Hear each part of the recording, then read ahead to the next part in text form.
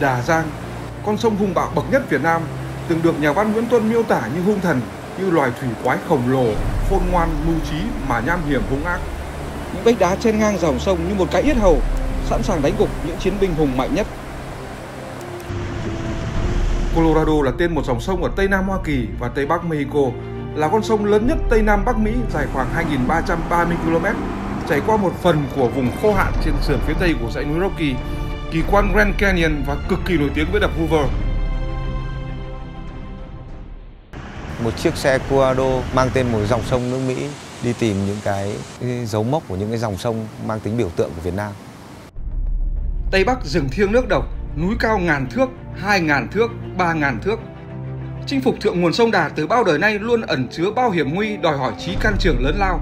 Chinh phục nó vào mùa mưa còn khó khăn hơn gấp nhiều lần. Việc chinh phục một điểm mốc đã là chút gian nan. Trong hành trình này, chúng tôi muốn chinh phục cả 3 điểm mốc chỉ trong 3 ngày vòn vẹn. Điều này để thử thách chính bản thân mình và đặc biệt thử thách những chiếc xe Colorado nguyên bản Chúng tôi muốn kỷ niệm hành trình Colorado thành công ở Việt Nam như thế nào và chúng tôi muốn thử cái sức mạnh của Colorado chính cái hành trình đó. Khi mà nhận cái hành trình này thì mọi người đã ai đi chưa? Đối với em thì cùng Tây Bắc hay là Đông Bắc ở miền Bắc Việt Nam thì cứ mỗi lần quay lại là mỗi lần cảm xúc khác nhau. Xuất phát từ Điện Biên, đoàn chúng tôi hướng đến điểm đầu tiên trong cuộc hành trình là Apa Chải nằm trên đỉnh Khoan La San, có độ cao 1.866 m ở ngã ba biên giới của ba nước Việt Nam, Lào, Trung Quốc.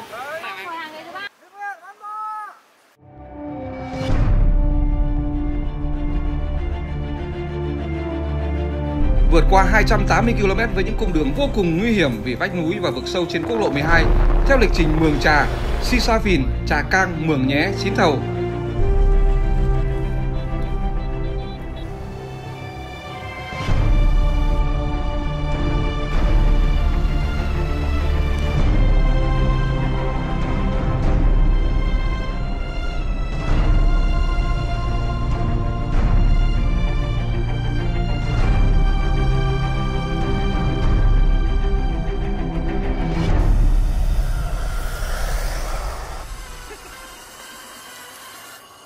Ở Apa Chải có rất ít điểm lưu trú, nhưng thật tuyệt vời khi chúng tôi được ở tại chính đồn biên phòng, ăn ngủ như các chiến sĩ bộ đội trước khi di chuyển lên điểm mốc số 0 cách đó 15 cây số.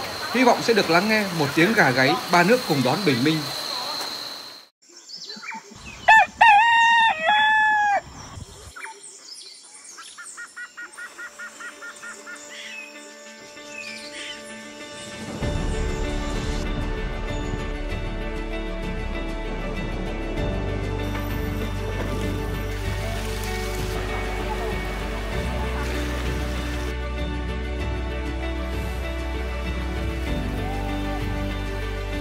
Thức giấc đón bình minh trong veo giữa núi rừng thiên nhiên Tây Bắc, chúng tôi bộ hành trên con đường núi dốc trong sương mờ.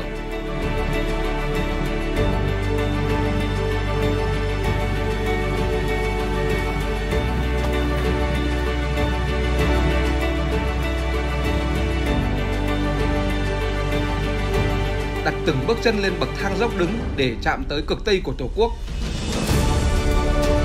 con đường không quá dài nhưng cũng đủ để chùn đôi chân lại và vỡ hòa cảm xúc khi chạm tới cuối con đường. Không cảm giác nào tuyệt vời hơn khi mà ngồi đây và giơ hai tay ra như thế này và cảm thấy mình đang sống.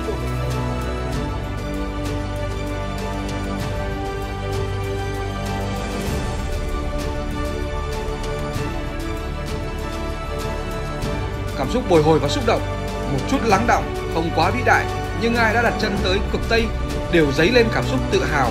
Niềm tự hào của người con đất Việt yêu nước nhiều hơn là niềm tự hào khi chinh phục được một cái gì đó. Chào cơ, chào! Đoàn quân Việt Nam đi, chung lòng cứu quốc, bước trên dồn vang trên đường gập gành xa.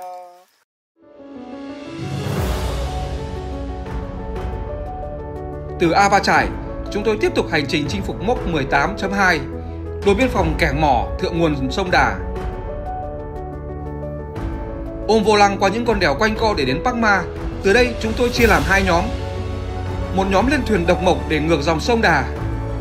Một nhóm lái xe hơn 20 km đường rừng từ Bắc Ma tới Kẻ Mỏ Kẻ mỏ. Theo một số giải thích, Tạo dịch là thác trào rơi do con sông hung dữ nhất Đông Dương này chảy trên lưu vực có độ dốc cao, xiết có quá nhiều gành thác.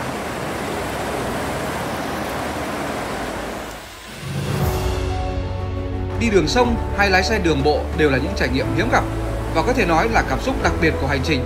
Với những ai đã từng chinh phục sông Đà thì lối tiếp cận mốc 18.2 bằng đường thủy là một trải nghiệm vô cùng đặc biệt và rất khó quên. Ờ, vào lớp 12 thì tôi cũng đã từng được ờ, học ờ, tác phẩm Người lái đò sông Đà của cố nhà văn Nguyễn Tuân. Và trong tác phẩm của mình thì Nguyễn Tuân mô tả con sông Đà là một con sông có thể nói là hung dữ, nham hiểm và nó như kiểu là muốn nuốt trôi tất cả những con thuyền, nuốt trôi tất cả những con tàu và những và tìm cách để mà để mà đánh bại tất cả những người lái đò trên con trên con sông Đà như thế này và hôm nay thì khi mà tôi đi trên hành trình này thì tôi thấy đúng là đây là một con sông rất là lớn, rất là hung dữ và nước thì đục ngầu như thế này sông Đà này thượng nguồn đầu nguồn này à, có nhiều hình đá mà đi không biết đi thì nó va vào hòn đá rất nguy hiểm nó vỡ thì à, là, mình phải lướt sóng lừa theo cái sóng mà đi phải thuyền đồng mục này thì đi nếu đi thì mình dài nhưng đi thẳng thì nó thì mình phải sóng to thì mình phải đi chết chết nó nó mới nhảy theo sóng đi. Nếu đi thẳng thì nó lại vỗ vào nó sự nó bụt về về hình mục người ra Mùa này nước sông Đà lớn, nhìn thì hung dữ, nhưng theo người lái đò thì dễ đi hơn vào mùa nước cạn. Do mùa nước cạn, các mỏm đá lộ nhiều và dễ va chạm vào đá, do đó khó đi hơn. Đoàn hành trình vượt sông trên con thuyền độc mộc trông tranh, cảm xúc như nín thở, vỡ òa. Mỗi gành đá, con sóng được chinh phục bởi chiếc thuyền dài và nhỏ như mũi kim, xuyên qua sóng nước hung hãn. Chú uh, lái thuyền trên sông Đà này được bao lâu rồi ạ? À? 20 năm rồi 20 năm rồi, ngày nào cũng đi một chuyến như thế này ừ, Và lái như thế này thì cái khó nó như thế nào? Nó có khó lắm không? Khó chứ Như nào ạ? thì cũng phải đi học qua trường lớp thì đi nhiều nó quen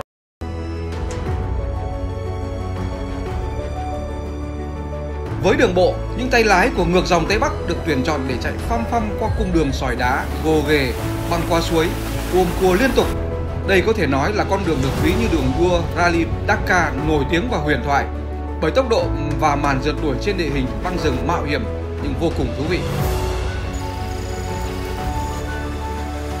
Trải nghiệm lái xe trên cung đường này chỉ có những tay lái cừ khôi và chiếc xe mạnh mẽ mới trỗi dậy hết được cảm giác chinh phục thực thụ.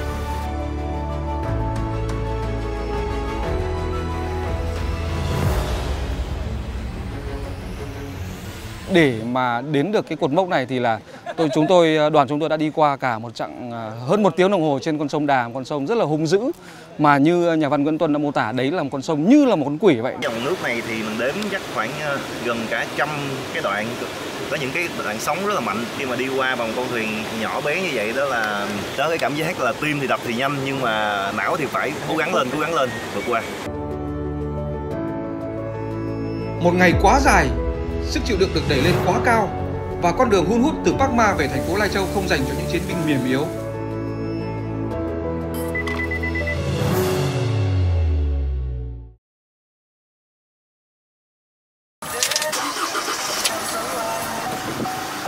Ở ngày thứ ba, chúng tôi chọn giải pháp thưởng ngoạn nhiều hơn. Sau 50 km từ thành phố Lai Châu, chúng tôi tiếp cận ô Quy Hồ trong một ngày mù sương, nhưng con đường đèo quanh co Đi uh, xe ô tô trong sương mù thì khá là lãng mạn, vừa đi vừa tận hưởng, đừng có vội vàng quá. Trong màn sương mờ, những chiến binh Colorado hiền lành và ngoan ngoãn, khác hẳn với ngày hôm qua đầy dũng mãnh. Chúng ta chắc chắn là phải nhớ mở đèn sương mù và bám theo cái vạch đường để mà chạy. Tốt nhất là những cái đoạn đường nó có vạch ở kẻ giữa đường thì uh, chúng ta cố gắng bám và theo cái vạch giữa đường là chắc chắn sẽ an toàn, đừng có lắng làng. Ngoài ra nếu mà đi đoàn đông xe thì uh, các xe sẽ bám sát nhau một tí và đi tốc độ vừa phải duy trì khoảng cách vừa phải an toàn để mà có tình huống bất ngờ thì mà có thời gian để mà xử lý nhưng như là khoảng cách để mà dừng lại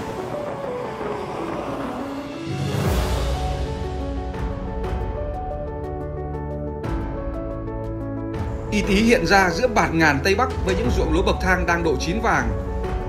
Thiên đường mây, thiên đường lúa chín, quả không ngoa khi chiêm ngưỡng Y tí vào mùa này.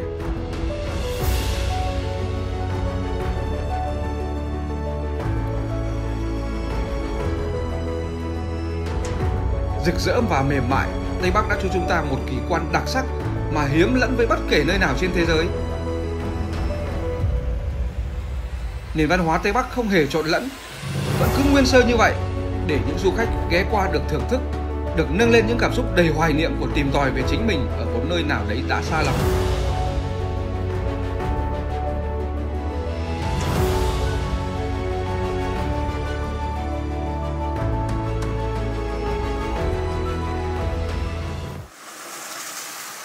Tạm biệt y tí với biết bao cảm xúc trên những chiến binh Colorado.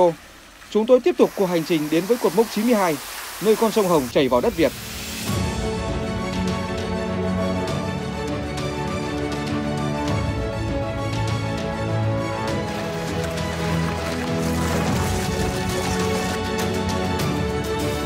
Chúng tôi đã đạt được khát vọng tưởng chừng như bất khả thi với người bạn đồng hành bền bỉ, không chút e sợ của chiến binh Colorado.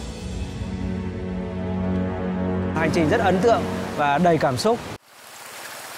Thấy ấn tượng và ngạc nhiên nhất là cái sự thích ứng của cái xe đối với cả cái cung đường này. Ở bởi trước khi mình đi cái chuyến này thì mình cũng hơi có một chút lo lắng liệu rằng cái chiếc xe nguyên bản, cái cung đường đấy khoảng thời gian đó, cái quãng đường dài như vậy có đáp ứng và nó đảm bảo cho hành trình an toàn hay không.